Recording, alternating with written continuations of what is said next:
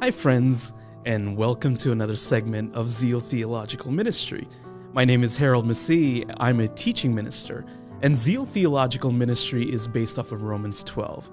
That is to be better informed of Him, so we can be better transformed by Him. Friends, I truly am grateful and glad to be back here with you this week. I had some uh, impromptu and unplanned trips that came up that resulted in me being out of town. Uh, the travels, the interactions, and the discussions all were tremendous blessings to my family and myself. I'm also grateful for Roy and Pastor Morris, who manifest the loving heart of our ministry week after week with consistency. Our hope and desire is that our multilinguistic, uh, our multilinguistical approach has been, is being, and will be a blessing to you. Now, if you've been following along with uh, these segments, you know today lands us uh, in Romans chapter 10 as we study and navigate our way through the book of Romans. So, like always, let's seek God first in prayer, read the passages for today together, and continue our conversation. Let us pray.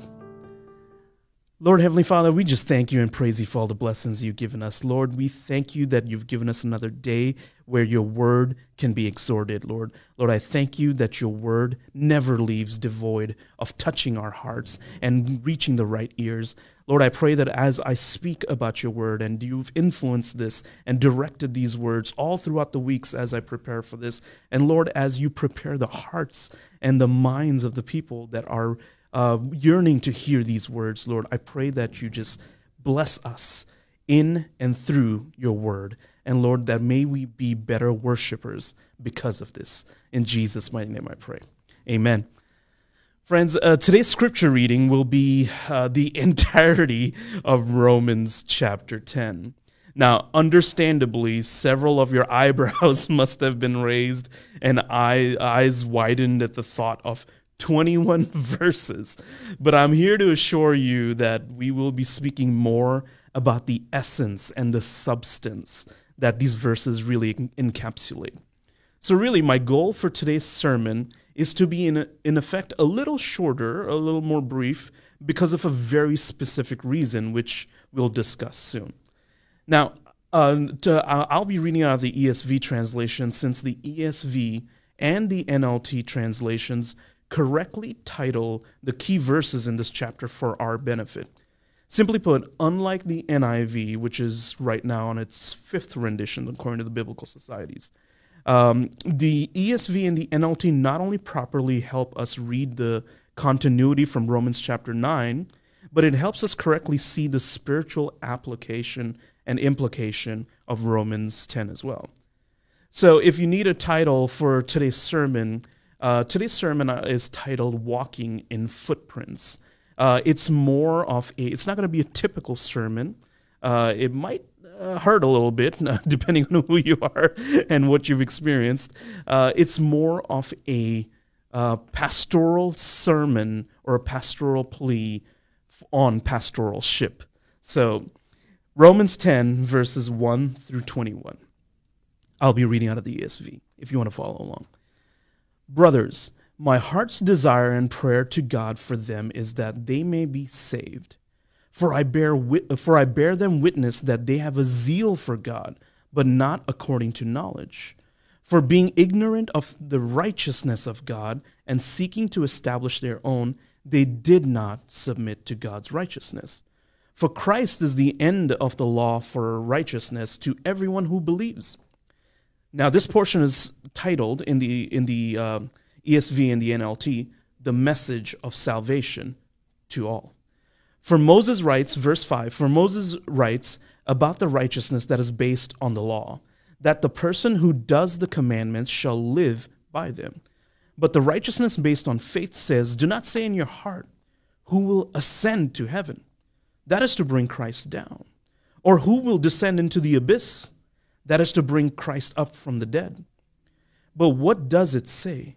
The word is near you, in your mouth, in your heart. That is the word of faith that we proclaim. Because if you confess with your mouth that Jesus is Lord and believe in your heart that God raised him from the dead, you will be saved.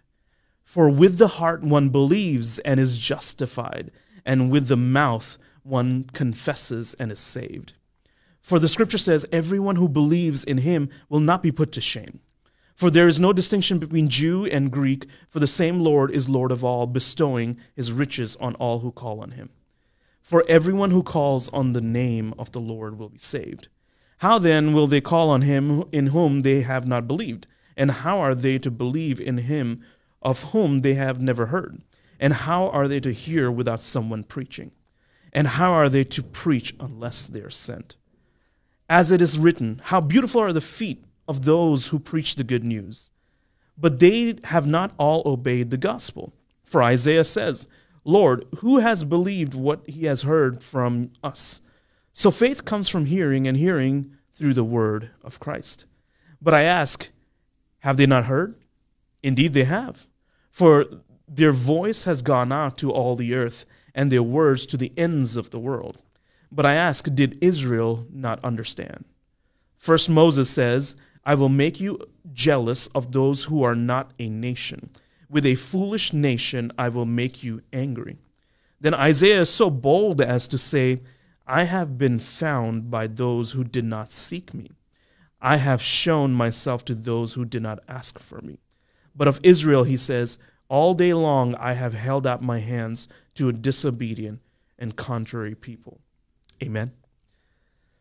For the now for those of you that follow along week after week, you've come to an expectation that in uncovering the depths of scripture, many times we have large conversations out of the richness of just a few words or just a few verses.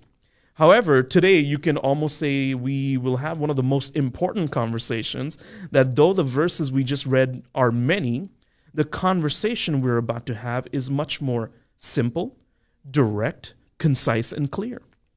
And as many of uh, as the verses may be that were just read, its implications are innumerable or for many more. As I mentioned earlier, keeping to today's segment uh, concise and clear and, and and focused um, is to ensure that we don't lose sight of the importance of the substance of this chapter, Romans 10. And, uh, and one of the topics is smack right in the middle of the chapter, and that topic is the gospel. More clearly, the preaching of the gospel, the confession of faith because of the proper exhortation of the gospel, which leads to salvation. Sure, the Apostle Paul uses logic, philosophical reasoning, wisdom, hermeneutical connections to the Torah, uh, but all of which is packaged and enclosed in a pastoral plea, which is the essence and sub- substance of what a faithful pastor's heart should be. The pastor's heart is that which seeks the benefit and advancement of others. This is why the introduction of this chapter in verse 1 is a powerful, prayerful, heartfelt plea for the salvation of all its readers. And this really is a timely conversation because of the conditions we are in within Christianity today. Now, we've covered the context of the book of Romans in many of our previous and early segments in our study through this book, but let's address a few technical and academic points quickly. The Apostle Paul wrote the book of Romans while he was in Corinth uh, in about 56 AD. And we know this from Romans chapter 16, where he references geographical locations and people uh, like Phoebe, Gaius, Erastus, all who were associated with Corinth. We also know that uh, though the Apostle Paul is the author of the book of Romans, it was written by the hand of his amanuensis, Tertius. And this information is also found in Romans chapter 16. Now, before some of the academic and technical thinkers uh, say things like and and come come right at me and say that well, technically Paul didn't write the book of Romans. Well, he did. He authored the book just like any modern writer would author a book but a, uh, uh, but a publishing company brings that author's work to print. Or better yet, the entirety of Scripture is the words of God, inspired by the Spirit of God through the use of divinely appointed and purposed humans. In those days, it was quite common. Um, it was quite a, a common practice for most authors to have an amanuensis. These individuals would be selected by the authors so they may dictate to them as they wrote their words down verbatim and accurately. Now, I'd like to share a short, amusing story before we go any further. The story is about 20 years old, so if you've heard this before, please bear with me as there's a reason for my sharing it. The story is about a large, prestigious speaking and coaching event where the best speakers from around the globe had gathered. Now, before the conference began, there was a centralized cocktail hour for everyone that was gathered for the uh, you know attendees and speakers. A well-known Englishman who was one of the speakers walks to his assigned table and he sees a Japanese man who looked quite nervous with a plate of food in front of him. The Englishman decides to help the Japanese man and visually assist him uh, as he lifted his utensils in a way to explain what they meant in English. He tells the nervous Japanese man, This spoony, this forky, this knifey, this platey, okay? and to each example, the Japanese man had just nodded yes along. Now, as the evening progressed, uh, to the Englishman's shock, he discovered that the Japanese man was actually the main keynote speaker of the event. And furthermore, the man delivered his speech in flawless English. After the event was done, the Japanese man finds the Englishman and asks him, My speechy, likey?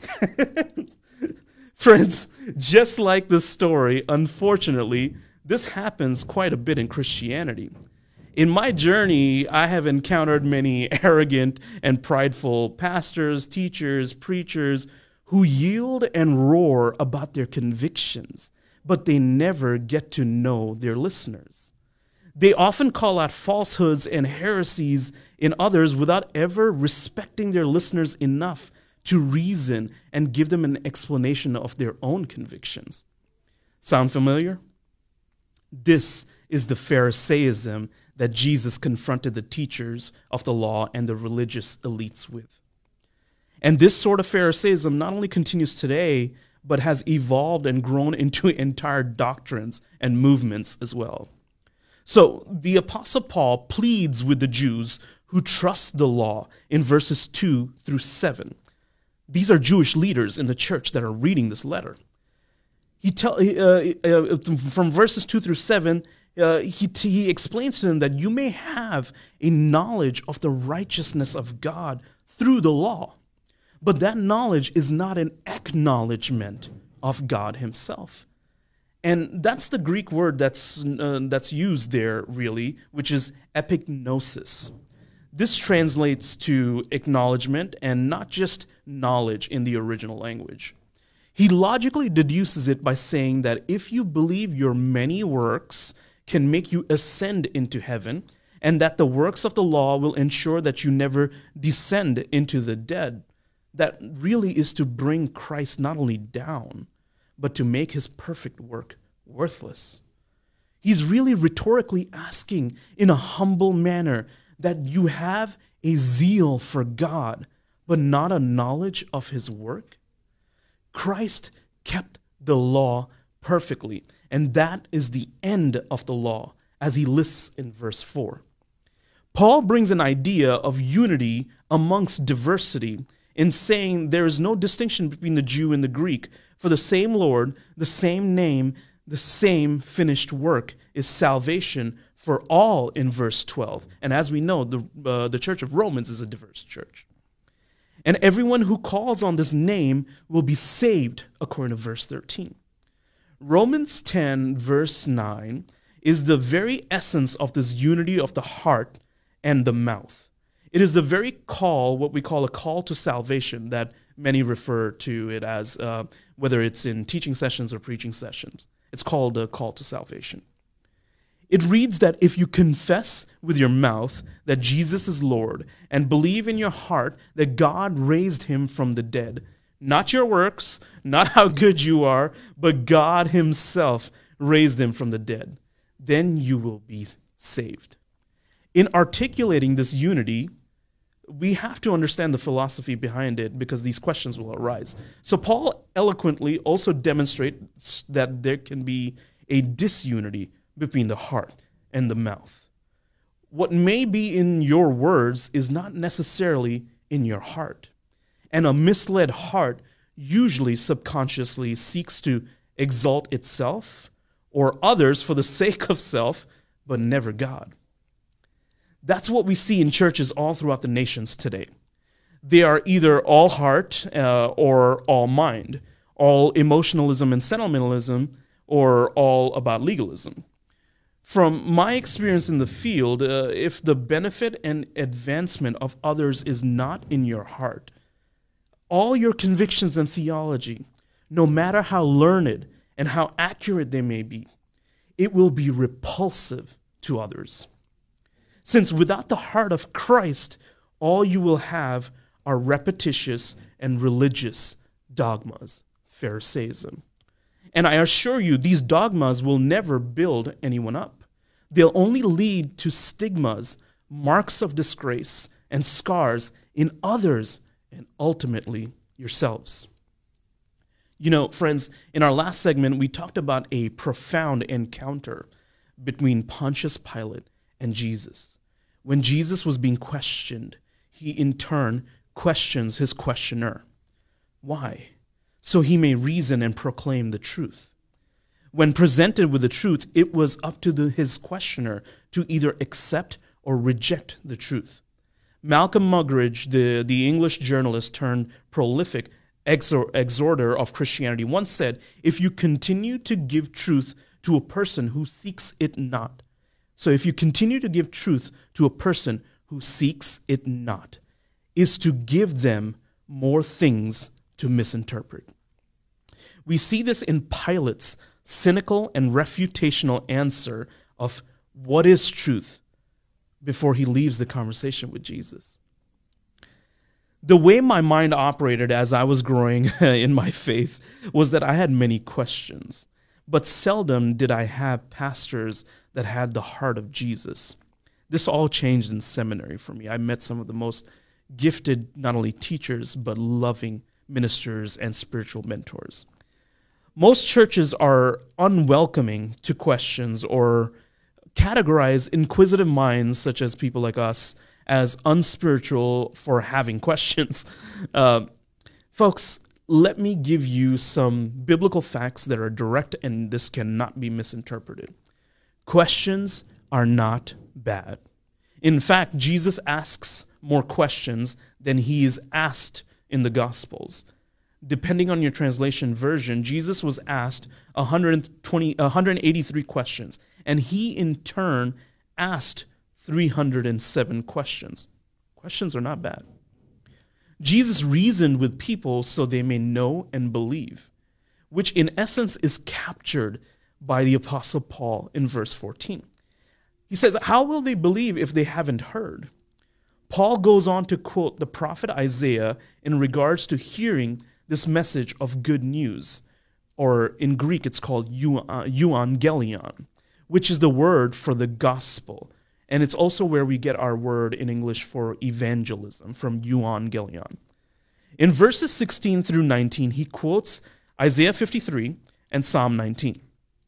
And most of you may know this that Isaiah 53 is all about Christ, the suffering servant.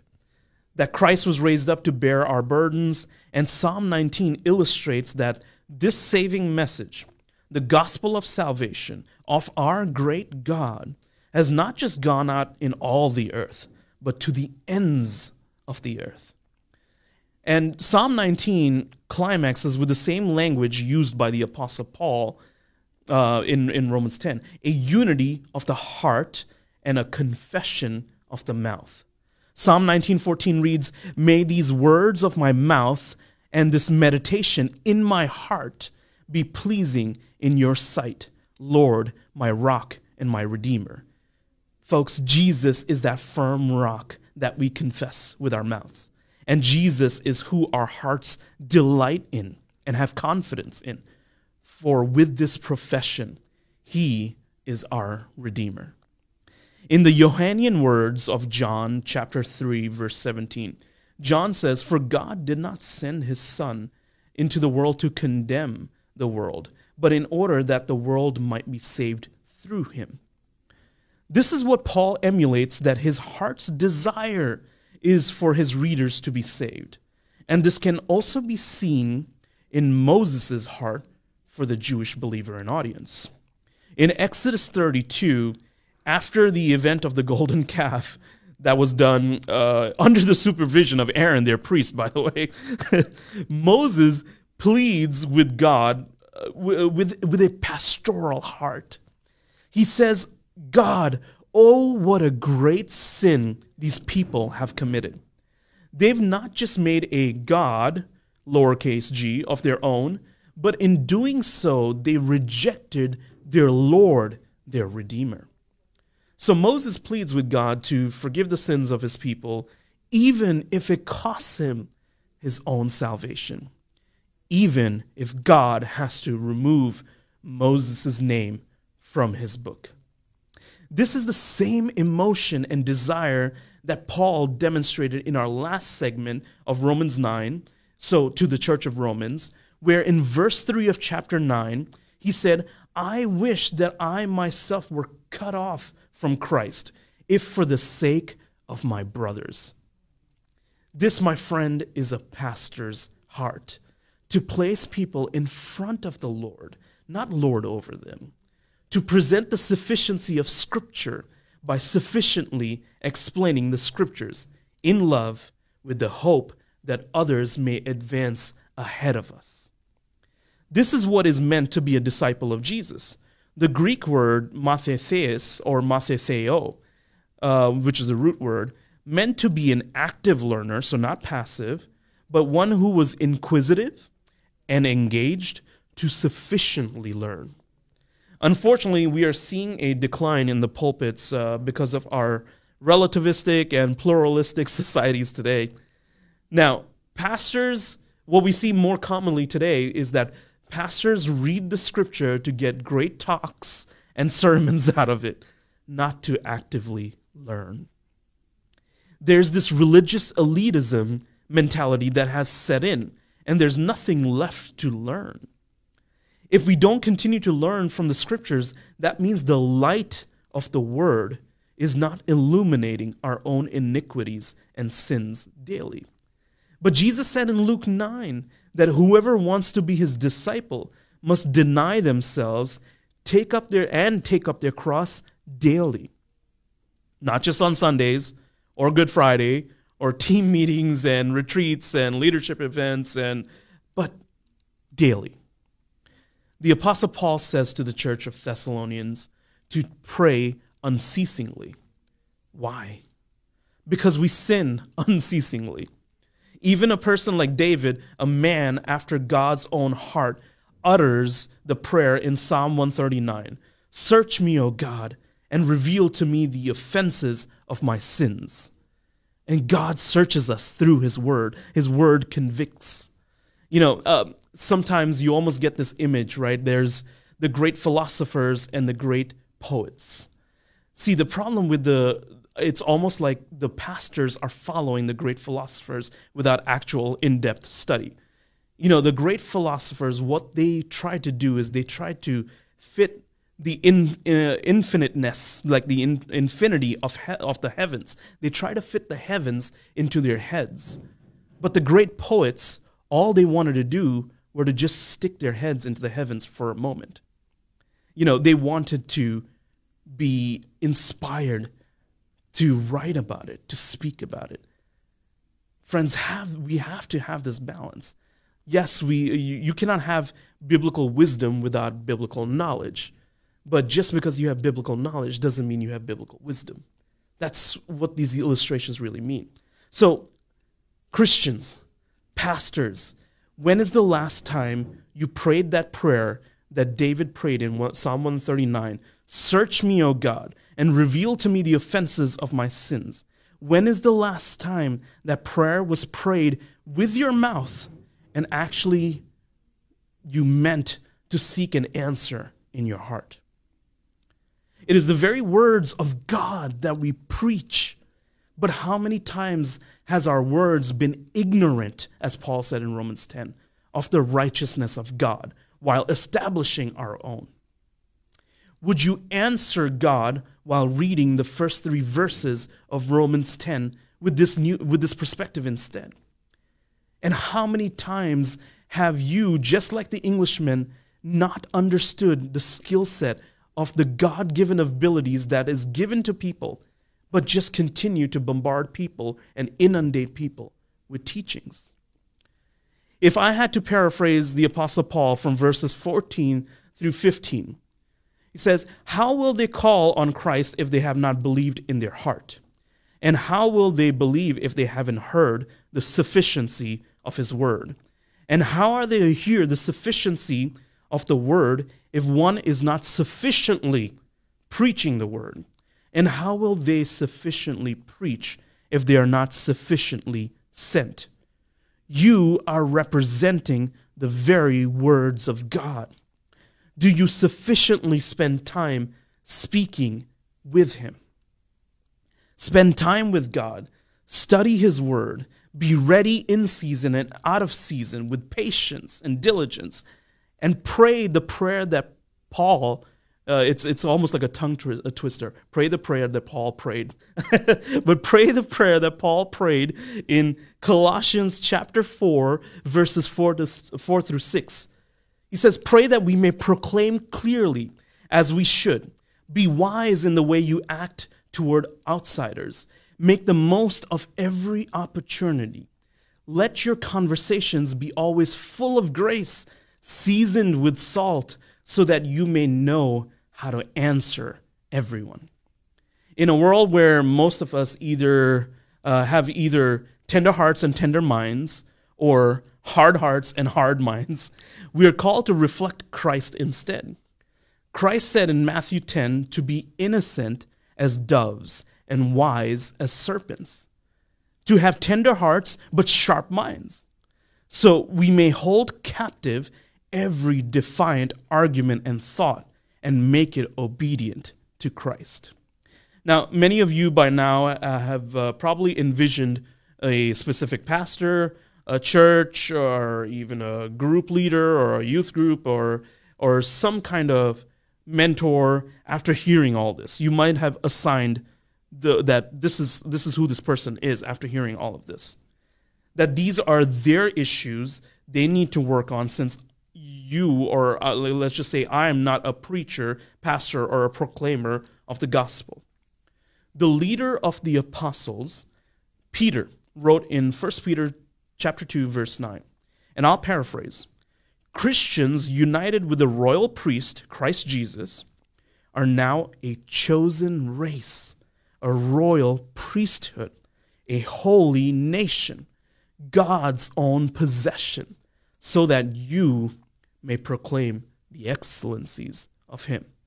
You are to be proclamators as well. Now, the most common sentiment I usually hear on why folks don't share the gospel that much is because they feel that they haven't grown in their knowledge uh, in the scriptures yet, and they may fail if they're ever challenged. Did you know the apostles had this very same fear as well? When Jesus teaches them to be innocent as doves, but wise as serpents in Matthew 10, he also said that his followers will be brought in front of governors and kings as witnesses to them and to the Gentiles. The apostles question Jesus in return. How will they know what to say? This is intimidating. This is overwhelming. And Jesus answered that the Spirit of God would speak through them. God has shown us that His work is sufficient, and so is the sufficiency of His words.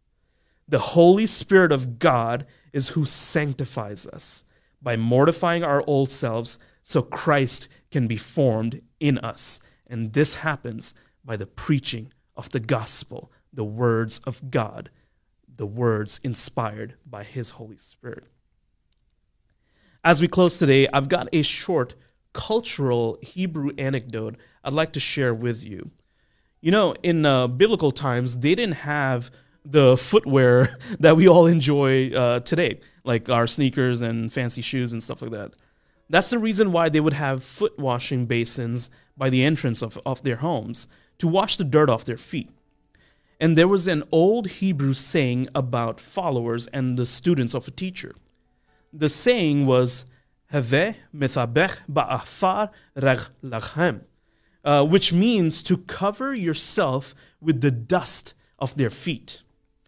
This was a saying uh, to illustrate that students who truly loved and followed their teacher followed their teacher so closely that the dust off his feet, the dust of the feet of the teacher, would stick to the closely following students in his footsteps.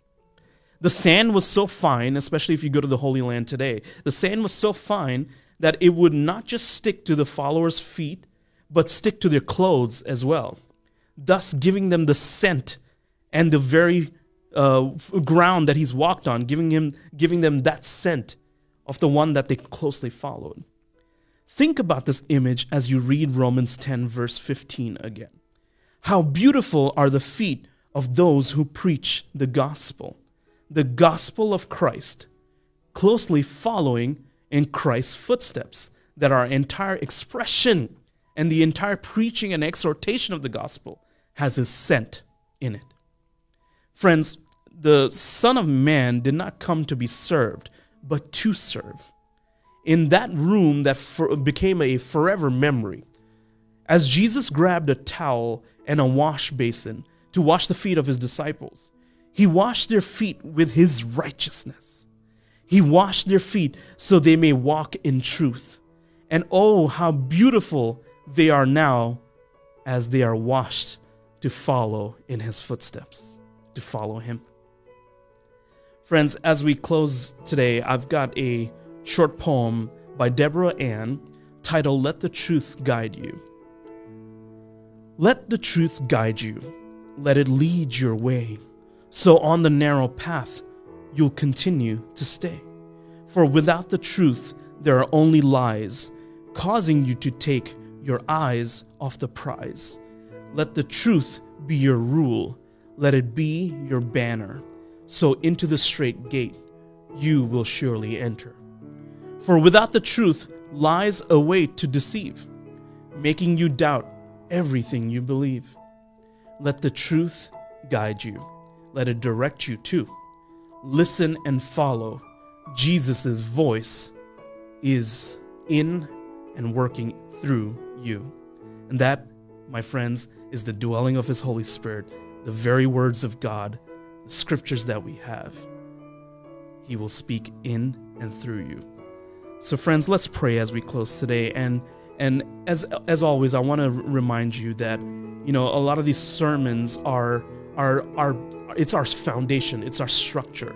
If you ever need to go more in depth, we encourage you to reach out to us with your questions. We are here to resource and equip you.